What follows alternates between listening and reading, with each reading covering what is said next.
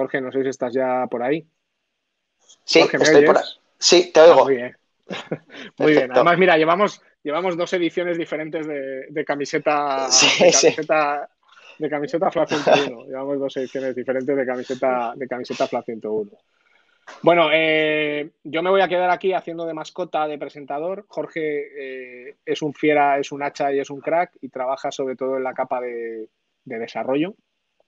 Y él nos va a hablar sobre todo de qué nos vas a hablar, de la elección de, cómo elegir correctamente el mejor CMS, ¿no?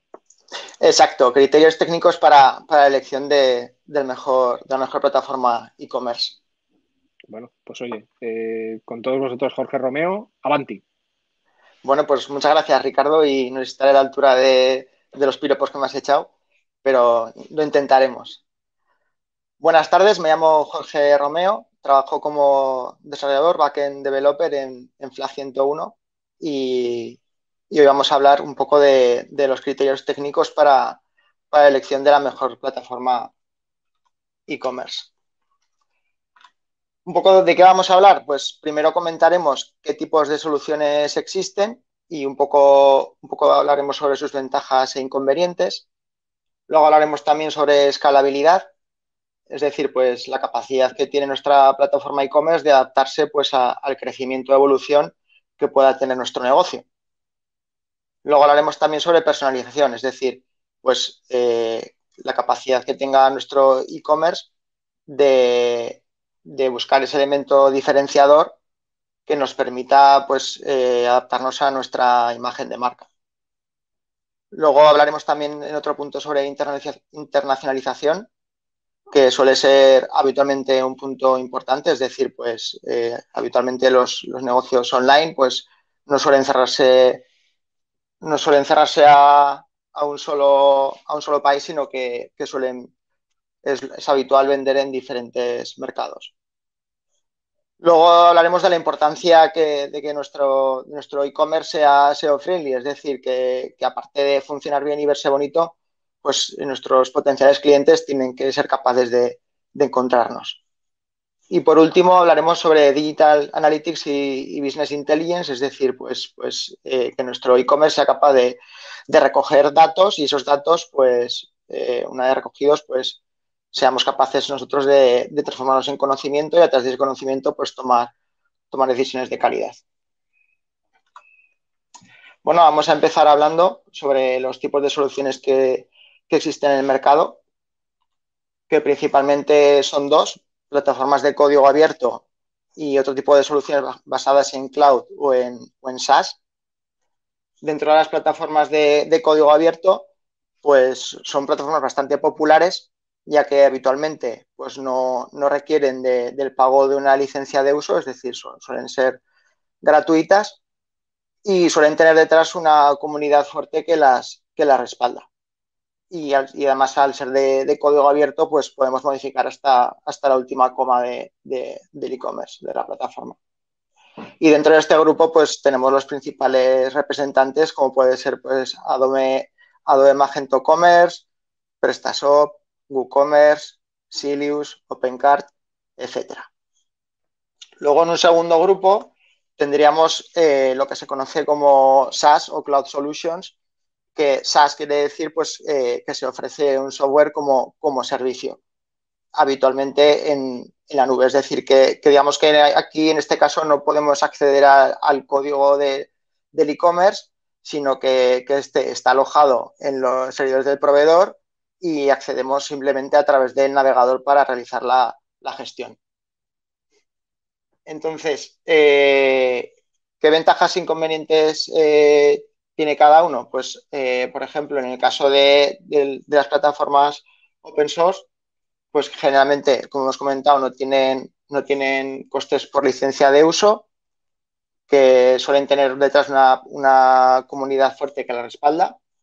Tienen una capacidad de personalización pues eh, prácticamente infinita y permite adaptarse bastante bien a las, necesidades y a las lógicas de negocio. Y luego que, suele ser, suelen ser bastante, bastante escalables, es decir, que, se pueden escalar fácilmente. Y entre los inconvenientes, pues que, pues que al ser de código abierto y un poco el código se puede tocar y demás, pues eh, normalmente, pues o bien eh, es necesario tener un, equipo IT in-house, es decir, tener un, equipo IT dentro de la propia empresa o, trabajar estrechamente con un partner tecnológico, pues como, como pueda ser en este caso la 101. Y luego otra desventaja, entre comillas, es que, es que esta solución e-commerce tiene que, estar alojada on-premise, esto quiere decir que, el propietario del negocio online del e-commerce es el responsable último del mantenimiento y la seguridad de, la plataforma. Y luego, como comentábamos, pues de las, plataformas eh, SaaS o Cloud Solutions, que es un software como servicio que, se accede a ellas a través del navegador para gestionarlas y que están hospedadas en los servidores del proveedor. Y, bueno, como principales eh, representantes, pues podemos hablar de Salesforce Commerce Cloud, eh, Shopify, eh, BigCommerce, Volution, etc. Y bueno, un poco las ventajas e inconvenientes de este tipo de soluciones, pues pueden ser como ventajas, pues que traen muchas funcionalidades base de serie que pueden cumplir perfectamente con nuestras necesidades o con las necesidades de nuestro modelo de negocio.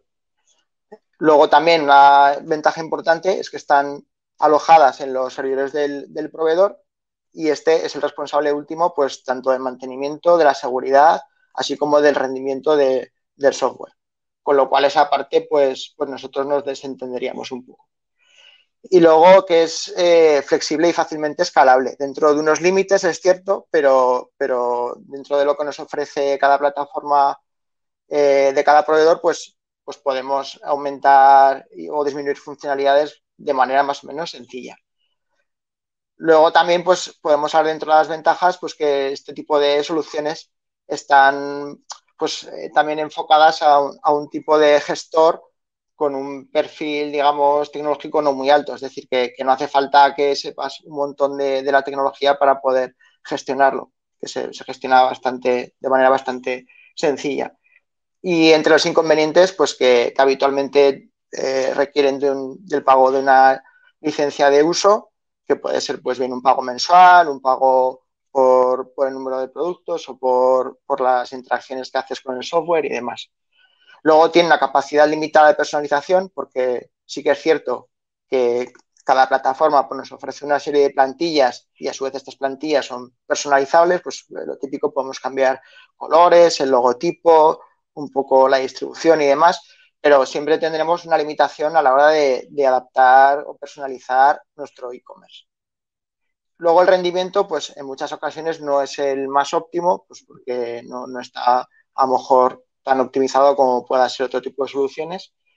Y si tenemos las guías de negocio complejas, pues puede ser un poco difícil integrarlas en este tipo de, plataformas. Pues se me ocurre, por ejemplo, pues si qué ocurre cuando con nuestro stock, pues si tenemos diferentes almacenes y cuando se realiza un pedido, eh, se mueve el, stock de un almacén, eh, a su vez llama a un RP, a, a su vez, etcétera, ¿no? Entonces, puede ser un poco difícil de, que en este tipo de plataformas integrar este tipo de lógicas más, más al detalle, más complejas. Luego, a continuación, tenemos una, gráfica extraída del estudio sobre conversión en negocios digitales de FLA 101, este estudio del año 19, eh, en concreto en España, negocios digitales en España.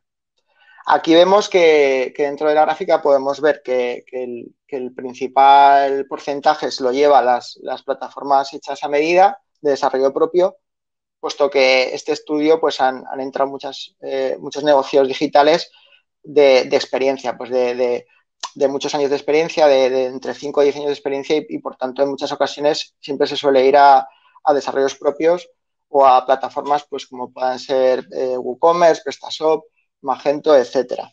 ¿Por qué? Pues porque son personalizables y son, se adaptan bien a, las necesidades del negocio. Ahora vamos a hablar un poco de escalabilidad. ¿Qué queremos decir con escalabilidad? Pues básicamente que en el ciclo de vida de un negocio online, pues eh, normalmente pues, va a crecer, va a evolucionar, va a tener nuevas necesidades. Entonces, eh, la plataforma elegida tiene que ser capaz de, adaptarse bien a, esas, necesidades y de crecer al mismo ritmo que crece nuestro negocio. No puede ser un stopper, no puede ser un, impedimento para nuestro crecimiento que nuestra plataforma no sea ágil.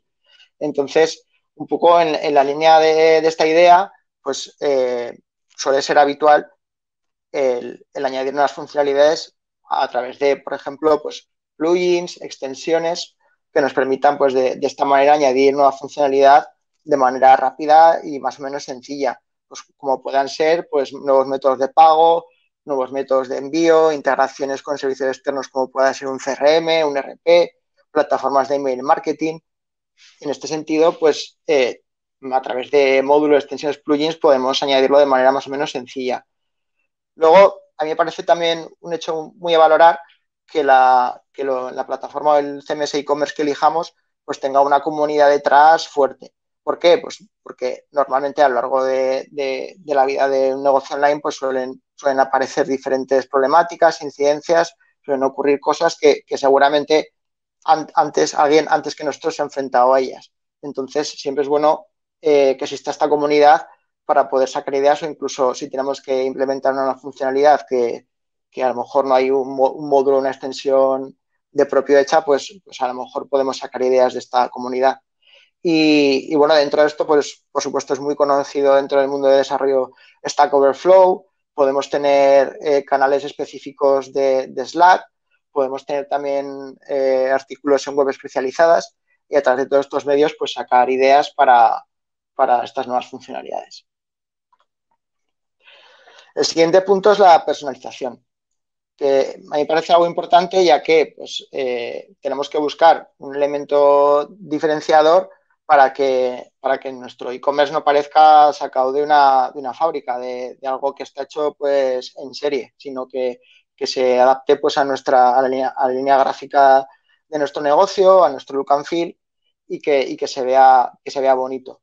Y en ese sentido, pues es importante que en nuestro e-commerce tenga, tenga un sistema de plantillas ágil y flexible que nos permita eh, personalizar y que a su vez estas plantillas sean modificables de forma más o menos sencilla para, buscar esa adaptación. Y, nuevamente, pues plataformas como, como Magento, WooCommerce o PrestaShop pues suelen tener un market donde podemos adquirir plantillas, bien sean gratuitas o de pago, de bastante calidad. Ahora vamos a hablar de, la internacionalización. Esto quiere decir, pues, eh, que habitualmente, pues, eh, lo normal es que un negocio digital, vamos, normal, puede ser que no, pero lo normal es que eh, no solo se cierre a un solo mercado, sino que, sino que busque vender en diferentes mercados. Hay ocasiones que no. Por ejemplo, pues nosotros en este caso tenemos en Fla 101 un cliente que vende pescado y marisco fresco y por la propia idiosincrasia del producto, pues evidentemente no, lo puede vender fuera de España, está cerrado al mercado nacional. Pero no es raro, de hecho es bastante común que, quieras vender en diferentes, en diferentes países. Y en ese sentido, pues nuestra plataforma e-commerce tiene que, ofrecer esa, posibilidad, porque no solo hablamos de, ofrecer, eh, digamos, eh, el e-commerce en diferentes idiomas, sino que puede ser el caso de que tengamos pues eh, diferentes instancias, es decir, que, en un país, por ejemplo en España, tengamos una URL, por temas de branding, pues en Italia o en Reino Unido tengamos URLs distintas y cada una de estas URLs pues se ofrezcan diferentes idiomas. Entonces, eh, evidentemente, esto al final es ofrece una complejidad de cara a que podemos tener que ser capaces de gestionar todas estas instancias eh, o, idealmente teníamos que ser capaces de poder gestionar estas instancias desde un solo panel de administración. Y en ese sentido, pues eh, en nuestra experiencia, pues la verdad es que Magento resuelve esto eh, de manera mm, bastante óptima, ya que pues no solo permite tener diferentes URLs y diferentes idiomas o vistas, sino que podemos tener un catálogo de productos en el que puede ser pues el, el, mismo catálogo para dos mercados, pero un catálogo diferente de productos para, para, por ejemplo, para Reino Unido y un catálogo de productos diferente para, para Italia. Luego también, pues evidentemente, pues puede tener diferentes métodos de envío, diferentes métodos de pago, pues porque en España podemos enviar con, con NACEX y en Reino Unido con, DHL.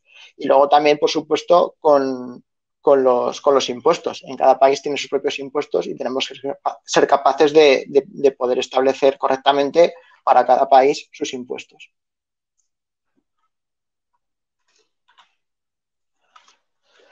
Luego, pues un punto importante, que, no solo nuestro e-commerce tiene que funcionar bien y verse bonito, sino que nuestro potencial cliente tiene que ser capaz de, encontrarnos, porque si no, pues evidentemente no, hacemos nada. Entonces, en ese sentido, pues hay una serie de, funcionalidades a nivel técnico que son importantes que nuestro, nuestra plataforma CMS integre y, es, por ejemplo, que ofrezca un sistema flexible para la generación de, URLs. ¿Esto quiere decir? Pues que lo normal es que mm, creemos un producto, por ejemplo, y tenga una URL, pero luego nos damos cuenta de que podemos mejorar esa URL. Entonces, necesitamos poder cambiarla y poder cambiarla de manera sencilla. Y a su vez, poder, incluso de forma automática o no, o de forma manual, poder crear una redirección para, para, ese, para esa nueva URL, para no perder la URL anterior. Luego, al hilo un poco de la internacionalización, pues tenemos eh, URLs canónicas, es decir, que nuestro producto se puede encontrar, por ejemplo, a través de diferentes categorías, pero no queremos generar múltiples URLs para, una sola página, para un solo producto. Entonces, tenemos que ser capaces de establecer la URL canónica de nuestro producto o de nuestra, o de nuestra categoría. Luego también, si tenemos diferentes idiomas, pues eh, es buena idea integrar las etiquetas hreflang para indicarle a los buscadores pues, que este producto en esta URL, eh, vamos, en, esta, en este idioma, en esta instancia, tiene esta URL, pero en italiano tiene esta otra y en inglés tiene esta otra URL, que son con las etiquetas hreflang. Luego en los, en los listados, eh, pues tenemos que, es, buena, es una buena práctica integrar las etiquetas, las metaetiquetas ReliPref para, un poco la paginación de, los, listados, porque normalmente, pues si tenemos muchos productos, se generan varias páginas y, entonces tenemos que integrar las etiquetas ReliPref. Luego algo importante, sobre todo en los últimos tiempos, es muy, muy importante, son los datos estructurados o lo, que se conoce como rich snippets. Es decir, que cuando se realiza una búsqueda, por ejemplo, en Google, pues eh, queda muy bien y, yo creo que, es muy importante pues, que, devuelva la búsqueda, pues si estamos buscando un producto, pues que devuelva la imagen del producto, su descripción, el precio y demás. Y eso, digamos, sin la necesidad de, entrar directamente para ver esa información en la página, sino directamente en los resultados de la búsqueda.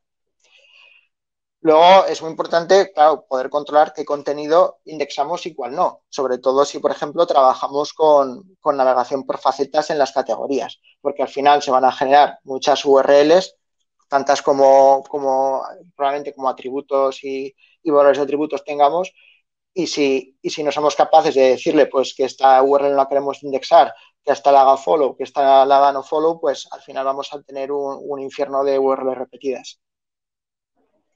Y por último, aunque no por ello menos importante, tenemos eh, la optimización para, la carga de, nuestra página, es decir, la Web Performance Optimizations.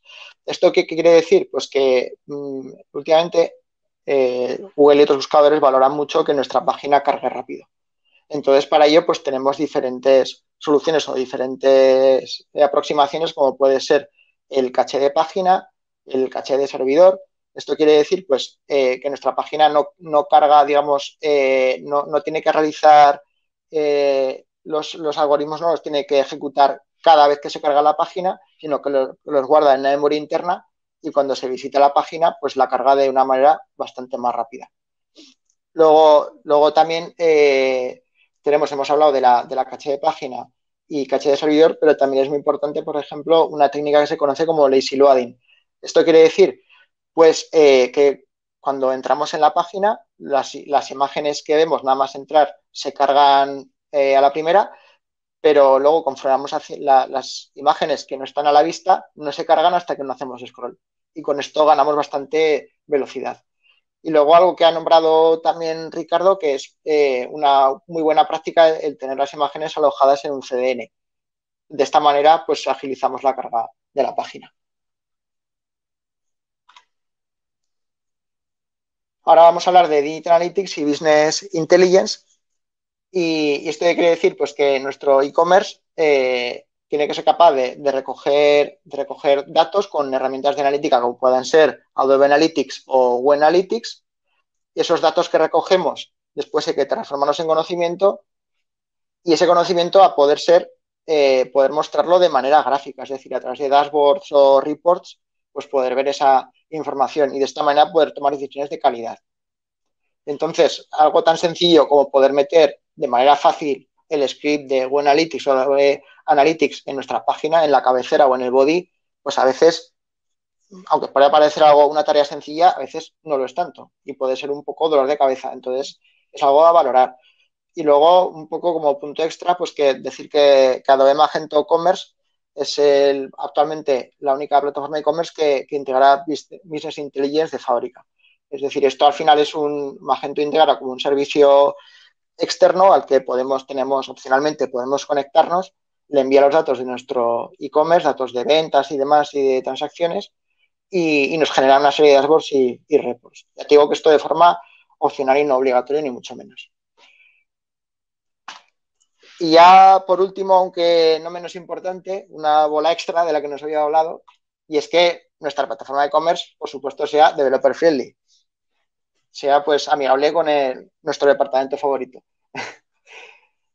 Entonces, tiene que ser un e-commerce basado en, un framework MVC, esto quiere decir eh, modelo vista controlador, y que integre buenas prácticas de desarrollo porque al final, si no, pues eh, puede hacer que, en la vida del desarrollo de, nuestro e-commerce, pues si no integra buenas prácticas y vamos metiendo parche sobre parche y modificación sobre modificación, al final sea muy difícil de, mantener el código.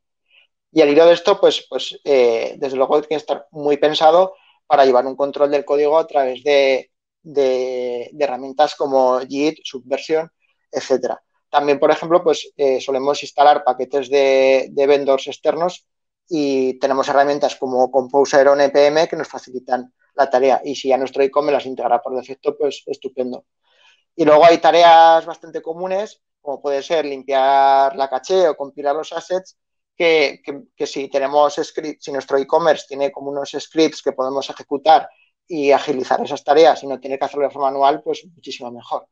Y luego, por último, más pensado en el frontend, nuestros assets, como pueden ser hojas de estilo, librerías JavaScript, pues también tenemos que ser capaces tanto de gestionarlas como después es muy importante eh, minificarlas y agruparlas en lotes para no cargar, para, cuando carga nuestra página, lo que hablábamos de Web Performance Optimization, pues que, no cargue 35 eh, hojas de estilo y 45 JavaScript, sino que los agrupe, los englobe y los minifique y simplemente con dos, tres máximo hojas de estilo y cuatro o cinco eh, de JavaScript, pues podamos tener todos nuestros, nuestros assets.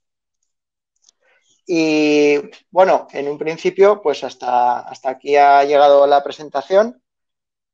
Eh, muchas gracias, muchas gracias por, por asistir. Y, y, nada, no sé si, no sé si tenemos alguna pregunta. Eh, ¿Qué tal, Jorge? ¿Te has encontrado cómodo? Sí, yo creo que sí. vale, vale, vale, vale. Bueno, no, me alegro, me alegro. Yo te he visto bien, ¿eh? Además hay que contar que hemos tenido una anécdota curiosa con Jorge, que es que creo que es la única persona de toda la empresa que no tiene webcam. Entonces, aunque le estáis, aunque le estáis viendo, ha sido toda una odisea, porque está usando su teléfono como si fuera una webcam. Es así, ¿no? Sí, sí, sí, totalmente. A mí, a, mí, a mí de lo que has contado, sobre todo de la parte de datos, lo que me parece muy interesante es lo que decías de que, por ejemplo, eh, las soluciones de Adobe son las únicas que llevan el Business Intelligence de, serie. Al final es algo que es, que es muy necesario un poco, sobre todo para la parte de, bueno, pues de análisis de, análisis de datos. Exacto. Es, es, curiosón. Preguntas hay unas cuantas. Entonces, bueno, vamos a ver. Eh, aquí mm, hay una pregunta, mira, por ejemplo, aquí tenemos una que es, ¿cuál de estas soluciones recomendarías para un marketplace donde cada vendedor tenga su perfil y productos ofrecidos? A ver si te atreves a responder a esto así en riguroso directo. Sí, sí, sí. Bueno, al final eh, hacer una recomendación siempre es peligroso, ¿no? Pero, pero la verdad es que en, mi experiencia, pues yo creo que, la solución que mejor se puede adaptar a esto quizás sea, sea Magento, porque al final es una solución que, podemos, podemos tocar el código, es una solución de código abierto, eh, que, capaz de gestionar eh, miles de referencias, capaz de gestionar, pues, de estas referencias, pues, si tenemos, por ejemplo, productos configurables y demás, pues es el que mejor se va a adaptar. Y, al final pues, pues siempre tiene un ecosistema de, plugins y, extensiones que seguramente vamos a encontrar la que más adapte a, nuestras necesidades. Entonces, en ese sentido, pues si nos vemos en, eh, la tesitura de crear un marketplace donde cada, cada uno de estos vendedores eh, pueda tener su usuario eh, de admin para poder dar de alta sus productos y vender los productos y demás, yo creo que sí que iría a una, solución tipo pues Adobe Magento Commerce. Bueno, además Magento ahora que se ha movido mucho, tiene una versión open source, tiene una versión Commerce Cloud, o sea que al final también tiene cosas tipo código abierto y ya hay soluciones enterprise. O sea, quiero decir, cuando hablamos de Magento, igual que en otros CMS de e-commerce, hay varias soluciones de Magento para, e-commerce. Y, Exacto. es verdad que para, y es verdad que para este tema puede ser una de las, de las más interesantes.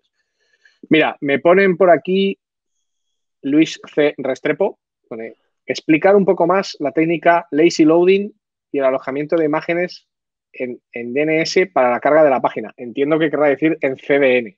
Sí, exacto, sí. Pues el lazy loading, eh, bueno, en castellano carga vaga, ¿no? O, carga, digamos. Sí, perezosa, carga, perezosa. carga perezosa. Sí. pues eso eh, se basa, pues que tú cuando entras en la, en la por ejemplo, pues en la home del e-commerce, pues lo que se ve nada más entrar, que suele ser pues, la cabecera pues, con un carrusel o con un giro banner o tal, pues este tipo de imágenes son las primeras que cargan. Es decir, estas eh, imágenes cargan siempre, ¿vale? Pero el resto de imágenes no cargan. Es decir, eh, lo, que no ves, lo que no ves en pantalla, lo que está fuera de, de vista, no carga hasta que no haces scroll. Es decir, una vez que haces scroll, eh, bueno, decir que, todas las interacciones que hacemos, todas eh, generan eventos, es decir, se lanzan eventos y el scroll es uno de ellos. Cuando hacemos scroll se lanza un evento, entonces digamos que hay un script que está escuchando ese evento y lo que hace es que cuando detecta que nuestro, nuestra vista, digamos, el scroll está puesto a la altura de, una imagen en concreto, pues esa, esa, imagen la carga. Entonces, con esto que ahorramos, pues que cuando la primera vez que entramos a, a la home no tiene que cargar todas las imágenes, el 100% de las imágenes, sino solo las imágenes que vamos, que vamos a ver en un principio. Por eso eh, carga más rápido. ¿Y cuál es la ventaja de tener, eh, la otra pregunta era, cuál es la ventaja de tener nuestras imágenes alojadas en un CDN? Pues sí, ¿cómo funciona, ¿cuál, es, la sí, básicamente cómo funciona un CDN. CDN son las siglas de Content Delivery Network, que quiere decir una, red de, distribución de, de contenidos que al final no estamos hablando más que de los servidores de, típicamente estamos hablando pues de servidores de Amazon, servidores de Google, que alojamos nuestras imágenes allí. ¿Y por qué es, mejor? Pues es mejor porque al final eh, nuestro servidor no es el encargado de cargar las imágenes, sino que delegamos esa carga en los servidores de Amazon, los servidores de Google, que están especializados, optimizados para cargar imágenes. Con lo cual, eh, eh, ganamos en la, velocidad de carga de, de nuestro site. No sé si con esto. Yo creo que está más que. Bueno, te felicito porque hay una cosa que, sobre todo los que no somos técnicos, siempre nos ha costado mucho, que es entendernos con la gente de desarrollo. Entonces, yo creo que, cuando oyes hablar a alguien de desarrollo y entiendes absolutamente todo lo que te dice, eh, que es algo que has conseguido hacer tú, es, como, uy, qué bien. como que, a veces hablamos en otro idioma, ¿no? qué maravilla. Es que yo siempre recuerdo que trabajé con una persona de sistemas que de cada cuatro palabras que me decía, tres, yo no entendía absolutamente ninguna de ellas. O sea, no, no sabía, ya no sabía si me lo hacía aposta para que no me enterara de nada o tal, pero bueno, eh, te agradezco esa capacidad de explicar de manera sencilla cosas que en ocasiones son eh, bastante complejas de entender. Y yo creo que es muy importante lo que has contado porque la gran, muchas veces la razón del fracaso de un e-commerce o de su mal funcionamiento viene de que quien lo ha montado no se ha preocupado bien de comprender la dimensión tecnológica que esto acarrea. Y al final, guste o no guste, aunque sea un modelo de negocio, pues es un modelo de negocio que te llevas a un ecosistema digital y la tecnología es importante. Y aunque tú no la sepas controlar, por lo menos tener un criterio de base como lo que tú has contado para poder escoger la opción más, más adecuada, porque eso es lo que explica que haya gente que pueda funcionar con un WordPress y un WooCommerce y gente que sí o sí, independientemente de su tamaño, tenga que irse a un desarrollo propio, pues porque requiere logística de frío, porque su producto es customizable, o sea que al final hay que entenderlo todo. Así que yo te felicito, mis dieces, te aplaudo yo, porque el resto de la gente no te va a aplaudir o te va a saber. Muchas y muchísimas gracias por tu charla, Jorge. Bueno, gracias.